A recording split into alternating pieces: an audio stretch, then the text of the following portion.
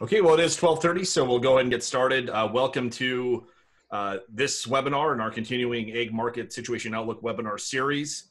Uh, this week, we'll be focusing primarily on CFAP, the coronavirus uh, food assistance program, uh, in addition to some general market uh, information. and with that, I'd like to turn it over to Bryon Parman, ag finance specialist. Hey, thanks, Dave. So as as always, I'm going to uh, do a little bit of a macro uh, update as well as uh, hit on some of the key macro kind of ag points, the the bigger picture stuff. Um, I it's not, and I'm trying to keep the topics a little bit fresh week to week. It's not that the other things have become unimportant. It's mainly that things uh, I try to hit on different stuff if it isn't changing.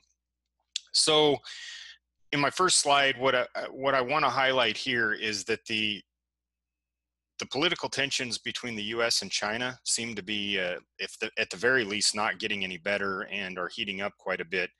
Uh, there was a resolution passed, actually a bipartisan resolution, of delisting a bunch of Chinese firms from U.S. stock exchanges.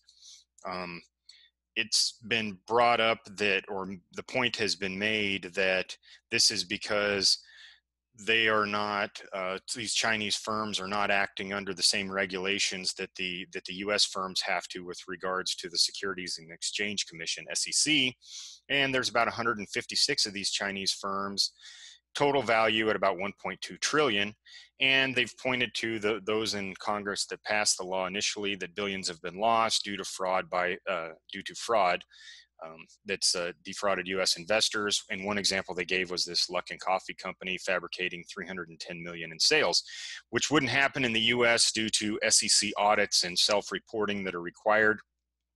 You know, post Enron and some of these other big flops that have happened over the years, but we don't have the same kind of control. But then the flip side to that has been is it retaliation for what is perceived to be China's stance on the virus and its spread and misinformation and retaliation for that? So we'll see how uh, how this transpires, but I can't imagine that it's not going to have an impact on our trade negotiation that we already have with them. Um, it's going to access to capital is going to be a lot more limited for these firms that are delisted. Moving on to unemployment again, I hit this week over week because it's an ongoing problem and continues to uh, remain a big problem. So last week's numbers, 2.438 million uh, on unemployment uh, at the end of last week. The trend is, if you look at the red dotted line, the trend is moving in the right direction. It's getting better, but still 2.4 million would be a record in and of itself had it not been for the last eight or so weeks. So while it is headed in the right direction, this is just a staggering amounts of people week over week being added to the unemployment rolls. Uh, again, you know, 2.43 million would have been five, six times the last, the previous record of 30 years ago. It's just not as big as it was six, seven weeks ago. So continued unemployment, which is shown on my next chart, just shows you see the line keeps creeping up. That's because we keep adding more and more people to the unemployment rolls. As of the end, approximately the middle of a few weeks ago, 25.07 uh, million continuous jobs claims. These are people who continue to file week over week. So as you'd expect, that number keeps going up. And that's pretty staggering when you consider to start March, it was 1.7 million. And by here mid-May, we're looking at 25 million. Okay. So the Congressional Budget Office um, did some projections. Okay, so we've had industry projections for when this is going to end and how bad it's going to be. Lots of industry projections. We've had in, uh, projections from the Federal Reserve districts. And the CBO just put out their projections. They're expecting unemployment to average 9.3% for the next year peaking at about 15.8% or 16% almost next quarter, and by the end of 2020 being at 11.5. 11.5 is about 2% higher than it was at the height of the financial crisis. So that is a very large unemployment statistic um, expected at the end of the year. They expect the economy will contract at an annualized 37.7%, which would be like saying we lost 40% of the economy in the year. It won't be that high in quarter two in terms of the actual percentage decline, but what they're saying is quarter two annualized 37.7%. In other words, if this continued for a year, we'd lose almost 40% of the economy, which would be at uh, catastrophic. So the ex- expectation is we'll increase at 21.5% and then 10.5% in quarters three and four. This is assuming no big flare up, no additional shutdowns coming in the future. So this is kind of a not a best case scenario, but a reasonably optimistic scenario. And we'll finish 2020 with a five and a half to six percent contraction at the end of the year. So if everything goes well, this is what we can expect.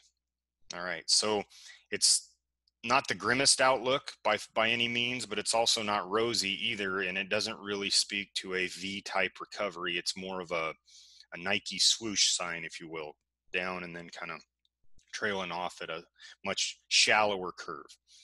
Okay, so let's talk about some ags uh, statistics that came out from our Federal Reserve District, which is the Minneapolis Fed, and they ask lenders these questions uh, every quarter and then they get the percentage of respondents. So in the first table here, North Dakota is the column in red. So for instance, they asked the question, percent of respondents who reported decreased levels for the past three months when compared to the same period last year. So the top line, rate of loan repayments, 71% of lenders said that had decreased in North Dakota. 76% saying net farm incomes had decreased about half saying farm household spending and capital spending most are saying that that's down. Okay? What's interesting is that loan demand is down uh, uh, uh, only 12 i'm sorry 12% have said loan demand has decreased which would imply that it's either 88% has stayed the same or increased. Loan renewals or extensions percent of respondents in the bottom half is an increased level. So 65% increase in loan renewals or extensions and this is in number of lenders, not loan volume or quantity of dollars coming through. This is each nose, right? Each lender. Referrals to other lenders has not really increased very much amount of collateral required. Now loan demand, 47% are saying it's up. So that's, that's a, that's a pretty big number. So the next slide, it talks about expectations. Okay, so the last slide was on what they've seen. This one, this table shows expectations. The top is also decreased. Talking about decreases, uh, 53% expect a decrease in loan uh, rate of loan repayments in the next three months. Big percentage, 82% expecting a decrease in net farm income. Now, if you look at the column just to the left of North Dakota with all the hundreds, that's Montana. So, not a lot of optimistic lenders in in Montana at all. Um, increase in loans and renewals or extensions, that would be the next, the bottom half of the table, 71% increase there. And then 71% expect an increase in loan demand. So most lenders surveyed across North Dakota and really the district are expecting a lot of uh, financial hardship, some, some struggles coming forward and expecting that their uh, loan demand, rates of re- loan demand is going to be up.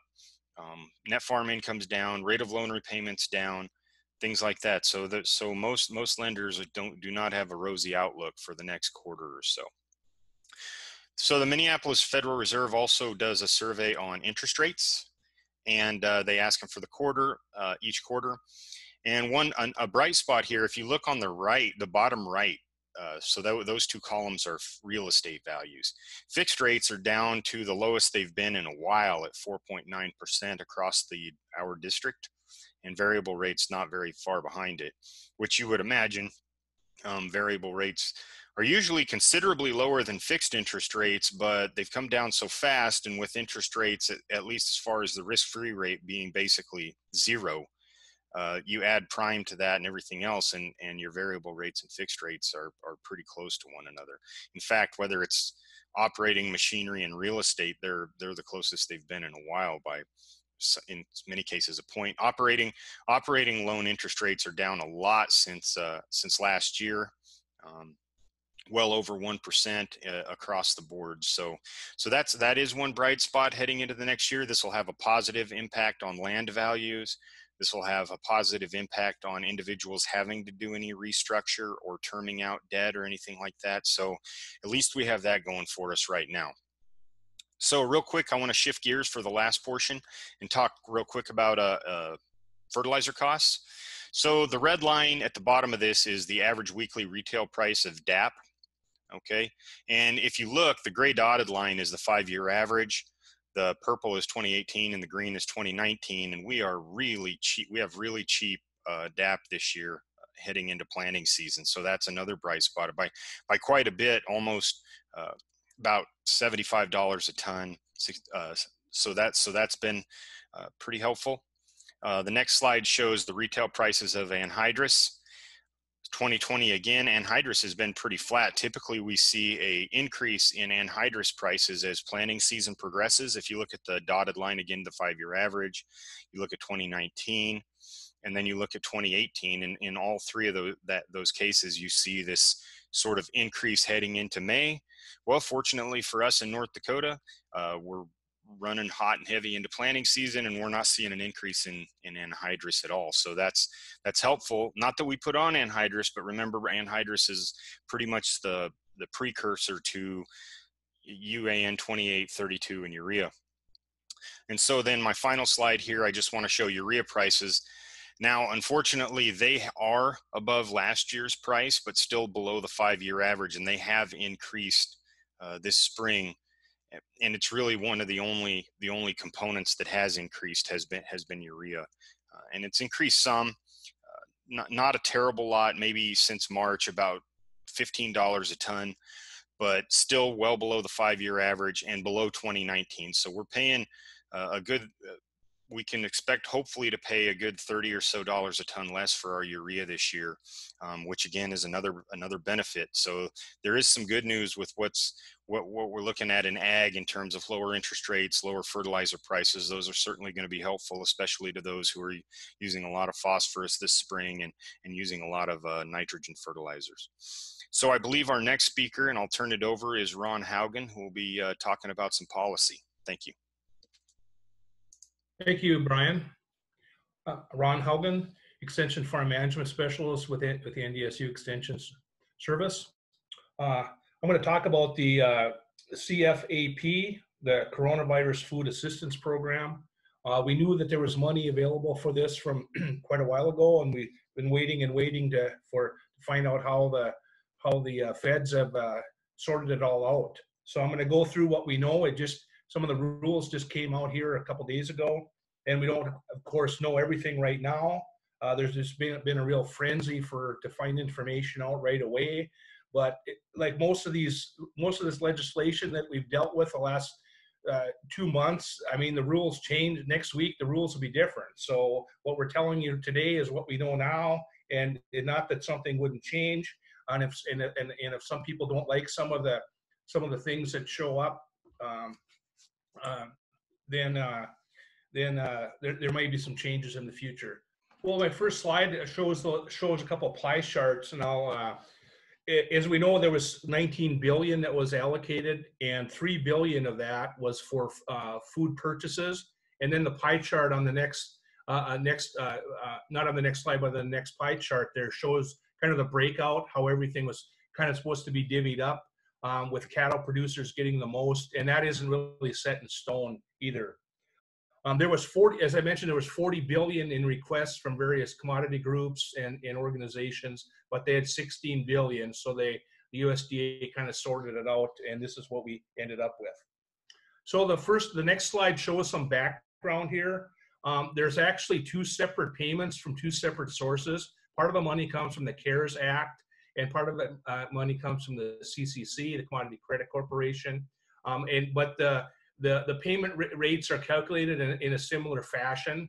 And the ba the basics is it, they they chose the week of January 13th to the 17th, and comparing to the week of April 6th to the 9th. Um, and, and, and what it was was they're trying to figure out what effect the COVID had on the on the various commodities. Okay, so any commodity that not that did not experience a drop of uh, a, drop of over uh, uh, five percent uh, is not included, and and USDA could uh, could reconsider some of that if there's some supporting evidence to that. The next slide shows a shows a graph of the various commodities and of the declines, and you can see that hogs have gotten the biggest the biggest brunt of it, and wheat wheat with wheat with the least soybeans and corn, bringing up the, the middle there. Um, so they broke it up. The next slide then will show you the, how they broke it up into various uh, various uh, commodities and what they call the non-specialty crops, and that's what typically would be we would call field crops. Um, it's not fruits and vegetables, um, and also wool goes into this area. Um, and you can see the list there: malting barley, canola, corn, cotton, millet, oats, soybeans, sorghum, sunflowers, durum wheat, hard red spring wheat. Some crops are not included in that, and I have a list on the on the, the back slide to show you which ones are not. There may be some some bark back at that. Different groups may want to get their to get their uh, uh, crop included. Um, and and the payment structure, the payment is based on this. The payment is based on the in, uh, on the inventory subject to price risk as of January 15th. Okay, the payment is made based on 50% of the producer's um, 2019 production, total production, or the 2019 inventory as of uh, January 15th, whichever is smaller. And then you multiply that by the ap- applicable rate for the commodity. Now, what this is, if you sold your, your commodities before January, you probably got a better price because things have been drooping since the COVID hit. And uh, so then people are saying, well, is this a bailout for poor marketers? Well, it's 50%. Uh, you're still better off if you happen to be luck out on the market and sell it before this time, uh, because this program will not make you whole by any means. Uh, so you're still be- it, you're still better off, but it does it, it's just helping people out. And there's a lot of questions on on what is inventory subject to price risk. If you have grain in the elevator on a price uh, a price later contract, well, you definitely have price risk, but is that inventory? You technically own that or not?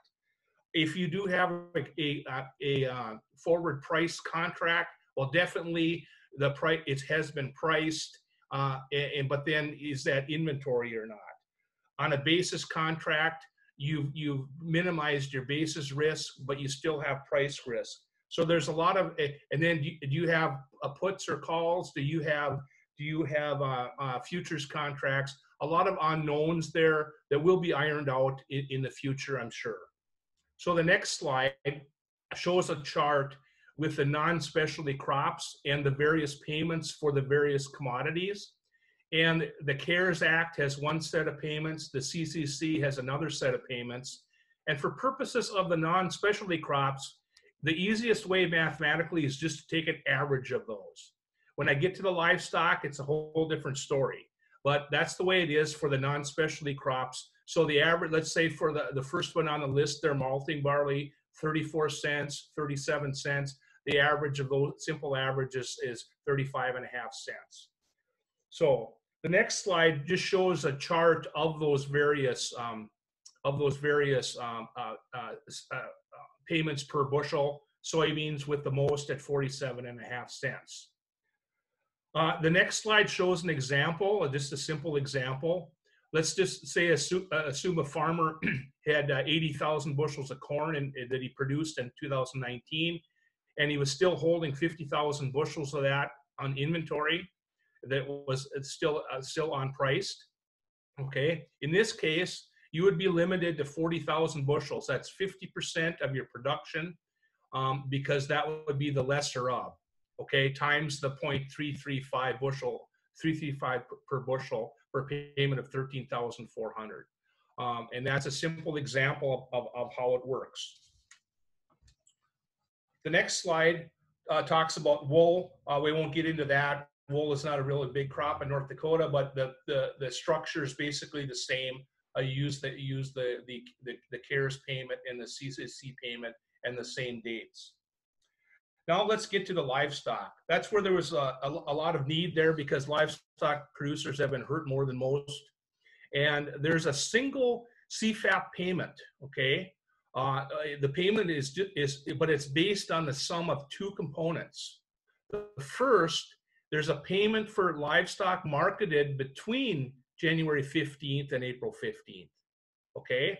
And then there's a payment for the highest inventory of the on-priced livestock between April 16th and May 14th. That may sound pretty confusing, but that's the way it works. And it, the next slide shows you the payments. Now, the CARES Act, there's the payment rate, and the CCC, there's the payment rate.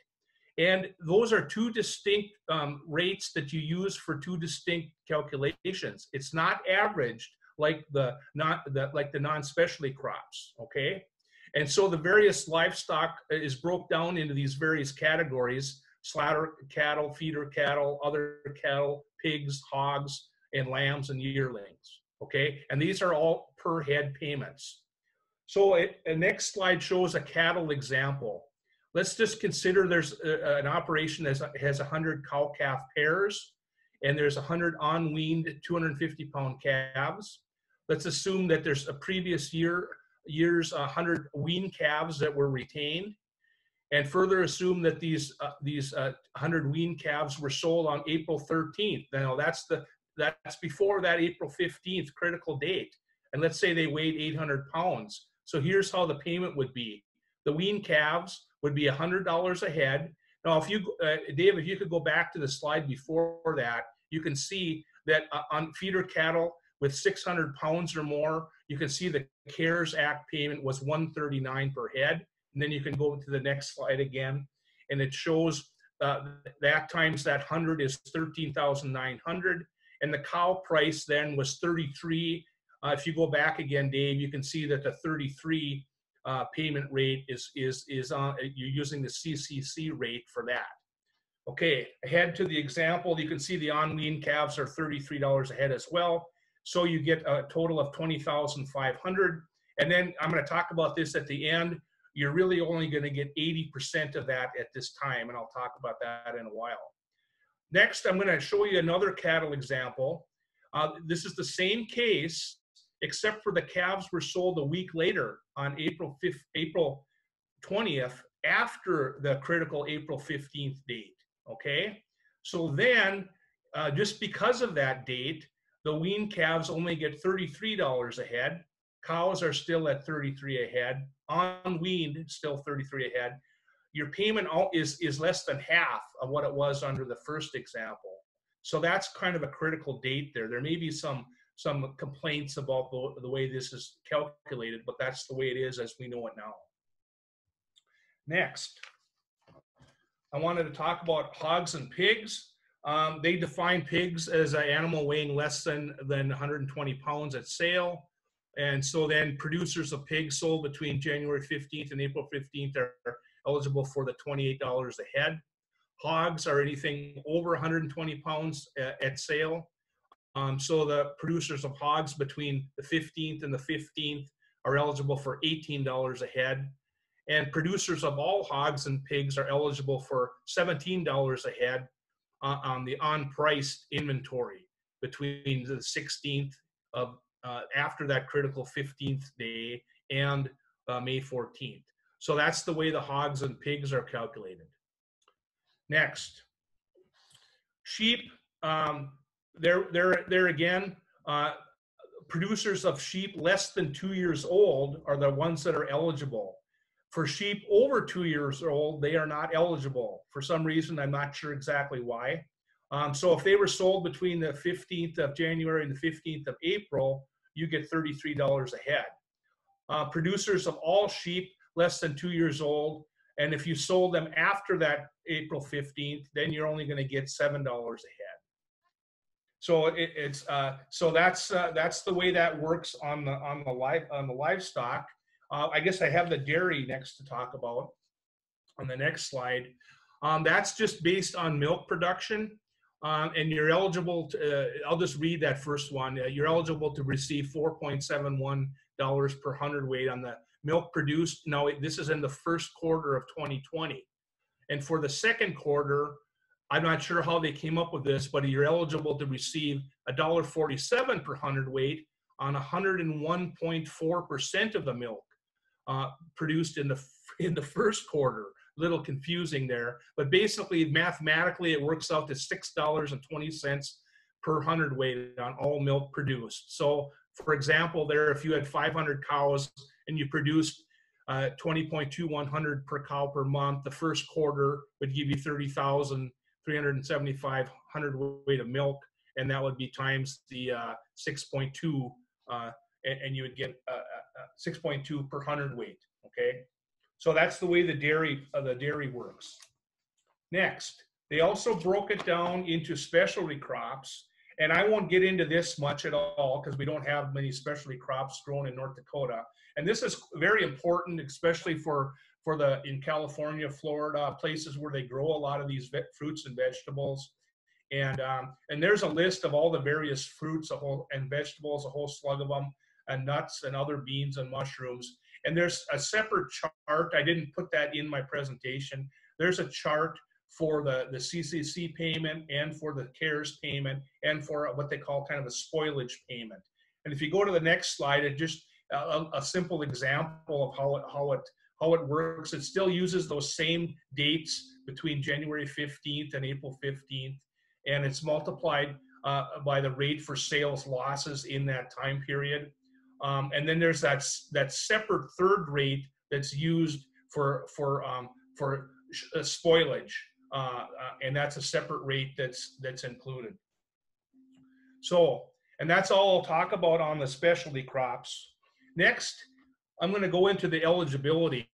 Now, there's a $250,000 limit per person uh, uh, uh, per per person, or I should say, or entity for for all commodities combined. Uh, there was a $125,000 commodity limit, but that was thrown out, and they left this 250k in there, and and is as far as my research goes, that uh, you can still get that that payment, that that limit is still in effect, even if you get other uh, other program uh, payments, other farm program payments, or PPP loans or SBA EIDL loans. Uh, this is a separate uh, eligibility payment just for this particular program. But you still must certify, you must meet your $900,000 AGI limitation as well. Um, and then you also must be in compliance with, uh, this goes along with most of the farm program rules. You must be uh, com uh, in compliance with the highly erodible land and the wetland conservation provisions. So that's uh, pretty simple on the eligibility for the program. There's maybe a lot of people that have never been to an FSA office that were that will want to try sign up for this that aren't that aren't used to it. Uh, farmers around North Dakota, they're pretty well used to it. Livestock if you're strictly a livestock program, you probably don't go to FSA that often, and uh, so uh, uh, so you you probably aren't uh, uh, you, you, probably aren't accustomed with some of the some of the rules. So next, I wanted to talk about the payments. As I mentioned, the, the $125,000 commodity limit was was eliminated, and um, uh, and we have this $250,000 uh, per recipient uh, limit now and they did they did change that a little bit. They also they made it a little more liberal for different entities for for for partnerships and and shareholders. They they they they they relaxed some of the rules on that. Uh, I won't get into the details on that. Um, and as I mentioned, USDA now they will whatever you turn whatever you turn out uh, uh, calculate for your payment, they're only going to pay 80% of that as a direct payment at this time. They're, they're holding back 20% to see how the program works, to see if they have any funding left. If there's funding left, they will pay out the 20%. If they run out of funding, then I'm not sure. I suppose they'll try to get uh, get refurbished or not, or or whatever. But uh, right now, they're only going to pay 80%, so that's what you can count on for a payment. Uh, 80% of your of your calculation. Now, the next slide uh, talks about applying uh, for assistance. Now, applications are already can already be taken, and uh, on this would be on Tuesday, then May 26th, right after Memorial Day. And I don't know that FSA is ready for that, but that but that's what they're that's what they say. Uh, you need you better call you call ahead because FSA is not taking any face-to-face appointments and find out you know how to how to how to get the process rolling. They they did say they are going to try and streamline it um, it probably it probably in some kind of the same fashion as they did with the MFPs. You probably just sign this, sign everything, provide your documentation later. Now, as far as far as what documentation you need, you can furnish almost anything that you have. If you have crop insurance records, if you have scale tickets, if you have um, re receipts, uh, uh, uh, scale uh, receipts, weigh, weigh tickets, custom combiner records. Uh, it, it, uh, almost anything that, that you have uh, can be used to document the the the inventory and and your production. And and you will probably re be required to furnish some of that documentation at a date at a later date. And also you may be audited. Uh, their FSA they have their plate full with all these different programs but that doesn't mean they aren't going to do some spot check audits as well now audit uh, applications are accepted through August 28th uh, there's also a website that's very good farmers.gov slash CFAP next there's a lot of concerns, um, uh, uh, as I mentioned, uh, uh, that will that we will get worked out in the future. And don't worry about if you don't know the answer right today. It will find out the answer at some point. One of the questions was, well, I still have corn in the field from last year. Is that considered my inventory? Did, did I store did I store it in the field? You know, well then what? How many bushels is it? What did they do an appraisal? You know, things like that. There's a lot of those those specific questions that are yet to be ironed out. And some, if in some in some crops that that are not included, if, if some of the commodity groups can say can can come after the fact and say, hey, we've got a five percent drop here. You didn't consider this or you didn't consider that. Uh, they still may be able to take that.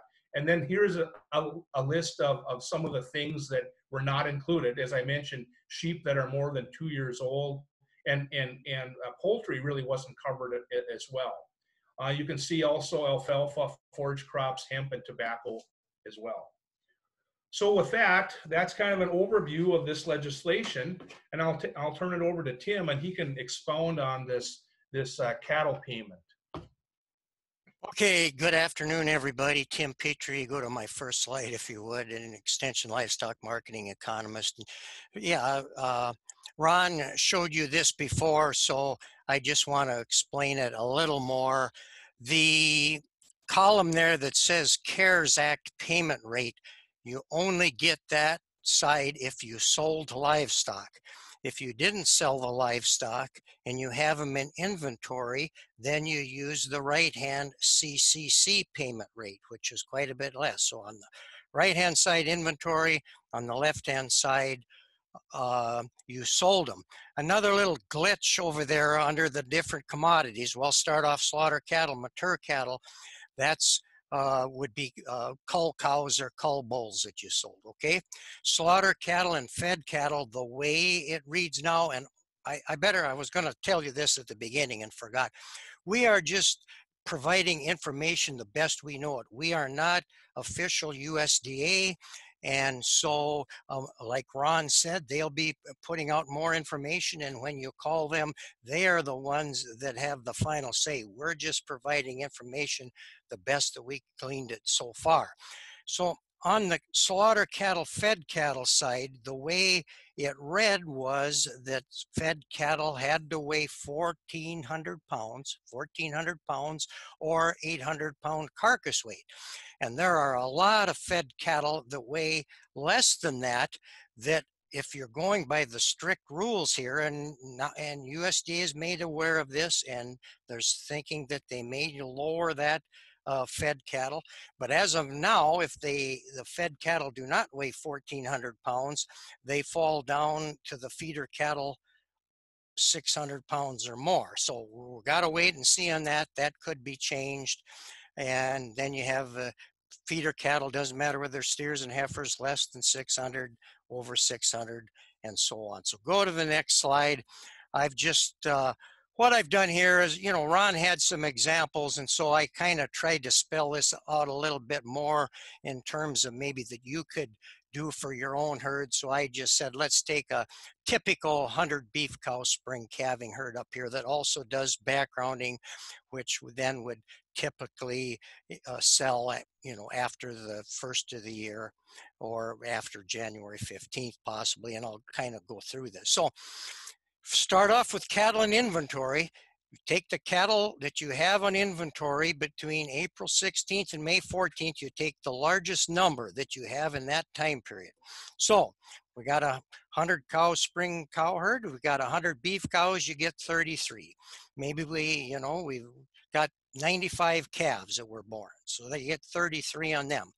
Also, typically, most producers have some replacement heifers that they plan to breed this summer that would replace uh, some cows that they call in the fall. So again, they're an inventory. You get 33. You got some bulls. They're 33. So about anything you got an inventory of cattle, just put them on there and uh, might have to prove it later, but you get $33. Okay. Go down to the sales then. Sales again had to be made January 15th to April 15th. So let's say these then are last year's calf crop and you hadn't sold them yet, you backgrounded them and then you sold them there during the typical marketing period. Uh, that would be January 15th to April 15th for this rule. So uh, let's just say maybe February you sold, let's say you had then 90 calves from last year's calf crop, 45 steers and 45 heifers. Okay, so we got 45 850 pound steers. We sold them February 15th. You get $139 a head. Uh, I have 28 heifers on there because if you go up, we kept 17 back that are in inventory, didn't sell them. They're a replacement heifers, so we got 28 left to make our 45. Sold them, we get 139. Uh, cull cows, if you sold 17 cull cows, typically maybe we would sell them more when we PG them back in the fall, but if you did keep them and sold them between January 15th and April 15th, you get $92 for, added on for the cull cows and if you had a bull there however many bulls. So you know that's the kind of the, the, the way you work it. Uh, total up the total then and like ron said you multiply it by 80 percent so that's 1500 144 and the second payment there is in jeopardy. You know go back kind of like he mentioned, go back up there in the sales date, April 15th. April 15th was a Wednesday. And, you know, so if you sold your 45 steers and 28 heifers on Wednesday, April 15th, 139. Uh, several auction markets in North Dakota sell on Thursday. Thursday was April 16th. If you sold them on April 16th, that's too late to get your 139, but you still had them in inventory on April 16th, so you get 33, you know, uh, quite a bit less there. So that's kind of the way it works. Go to the next slide. Then uh, Ron mentioned this, but uh, getting lots of questions. How do we document our inventory? And that is a good question. So this is what the rule said. And again, you're going to have to talk to your FSA office. You know, sometimes I know we had uh, disaster uh, payments here a year or so ago, and they left uh, some discretion to the county committees because they were aware of how bad the disaster might be in that area and so on. So, again, like Ron said yesterday, uh, they received uh, education, so you'll have to find out for sure for cattle or lambs, whatever it might be, what documentation they want. Like he said, the rule said you were generally self-certified now, but you might have to provide supporting documentation. The final rule Kind of like he said, examples of supporting documentation include evidence provided by you that is used to substantiate the amount of production or inventory reported, including copies of receipts, ledgers of income, income statements of deposit slips, veterinarian records, register tapes, invoices for custom harvesting, records to verify production costs, contempor contemporaneous measurements, truck scales, and so on and so on and so on. So again, my suggestion is when you call the FSA to get, ask them what they might uh, uh, need for your particular case for your different type of livestock. So go to the next slide. Again, we'll take questions if we can. We're not, a, again, official USDA spokesman. Just finish up with what I've been talking about before. We're still selling uh, feeder cattle here. Uh, AMS just reported Napoleon and Mandan last week because Stockman's had a special cow calf sale and didn't sell uh, feeder cattle, but the prices were virtually identical to last week. I've been talking about those 750 to 8 weights down there, 155 head. You see a 752 to 799 weight steers just this last week averaged 132.42, almost identical to the week before, which was 132.83. So had a very steady market on feeder cattle the last several weeks. Go to my last slide then. Uh, this has way been overshadowed, obviously, by the payments you're going to get and so on, but there is a cattle on feed report out this afternoon, two o'clock, and uh, the trade there is just expecting about 5.2% less cattle on feed. Again, like last month, a lot less play, payment uh, placements, almost 23% uh, less placed, and also marketed, which were way up last month. The marketings are way down this month because of the packing plant closures and limitations, so on, down about 25%. So with that, I think that's all I'm going to talk about. See if Ron can answer some questions. Okay, thanks, Tim. And, and we'll start with the first question, and you guys can wrestle over it. Where did they come up with the thirty-three dollars per head for on the cows? Uh, I'll I'll take the question and plead ignorance. They they have only have so much money in the pot. They don't even know if they can pay the additional twenty uh, percent. They know knew how many beef cows we had on January 1st was uh, NASS did the inventory, so they knew how many cows were in inventory then. They multiplied it by through to see how much that was, and then they looked at how much they were going to have to pay on feeder cattle, and they said eh, it looks like maybe we can pay that much. That is my best guess. Great, thanks, Tim. Yep. Uh, another question uh, for you and Ron to decide: uh, Are futures contracts considered price grain or livestock? I think that's probably one of the questions that we don't know exactly how they're going to handle that. Um, but uh, it, yeah, I don't know. Do you have any any more thoughts on that, Tim?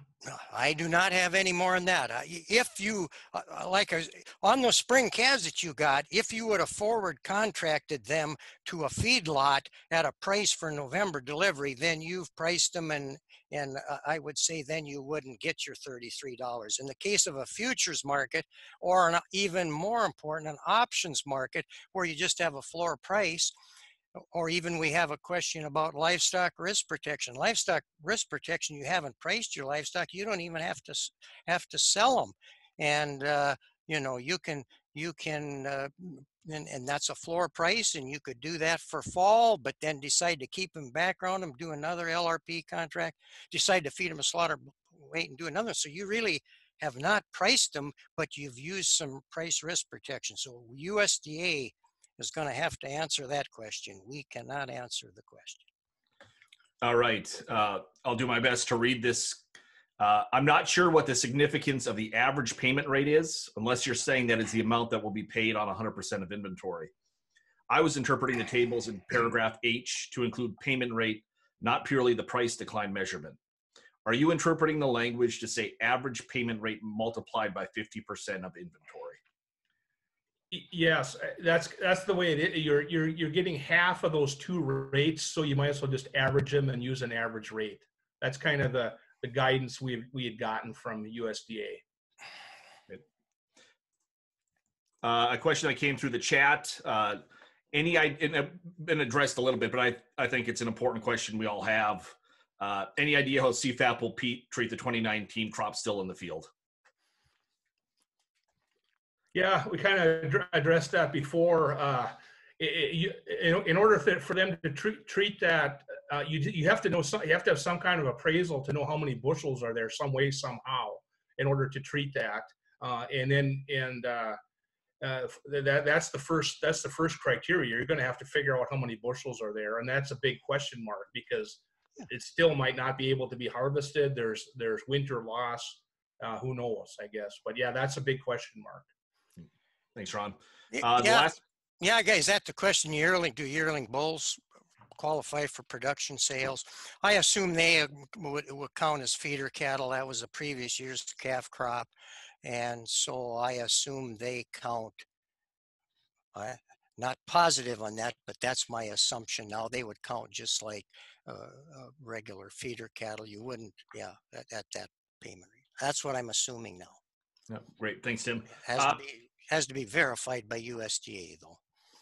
Uh, so that's all the questions we have right now. I'll give uh, the participants a chance to ask uh, questions here as I cover some things. Again, use the Q&A tool if you have any questions.